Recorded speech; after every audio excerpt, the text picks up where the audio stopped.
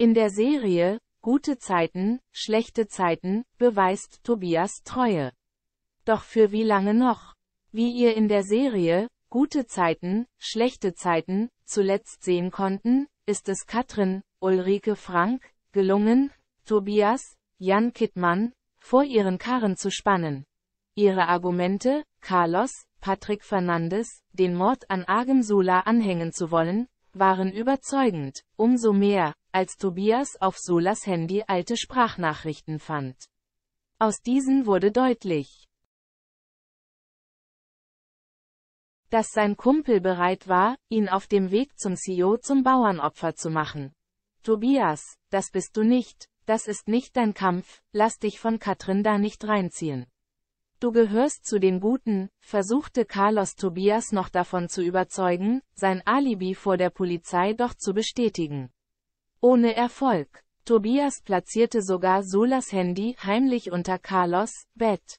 Wenig später nahm die Polizei ihn fest. Auch Rosa Lehmanns, Joanna Schümer, Einschüchterungsversuch half nichts. Zwar drohte sie Katrin und Tobias, deren Beziehung zu Sula offenzulegen, doch letztendlich ließ sie Carlos aus Angst, der Ruf der Lehmann Bank könnte weitere Schaden nehmen, fallen. Aktuell sieht es so aus, als ob Katrins Intrige Erfolg hat. Doch es ist durchaus möglich, dass sich das Blatt noch einmal wendet, wie die aktuelle GZSZ-Vorschau nahelegt. Achtung! Spoiler!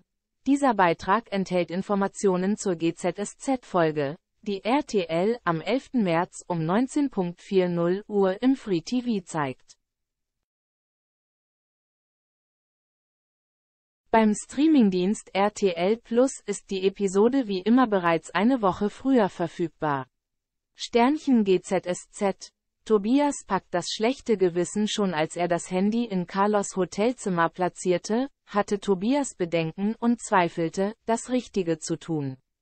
Zwar versucht er in den nächsten Tagen weiter, die Gedanken an Carlos wegzudrängen, doch so sehr er sich bemüht, seine Skrupel und sein schlechtes Gewissen drängen an die Oberfläche. Wird am Ende er Katrins Plan vereiteln?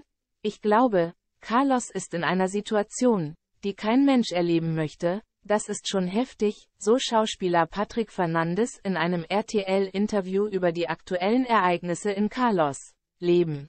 Und es wird immer enger für ihn. Seine einzige Hoffnung sei jetzt Tobias. Das ist so eine von seinen Figuren, die er noch übrig hat, so Fernandes.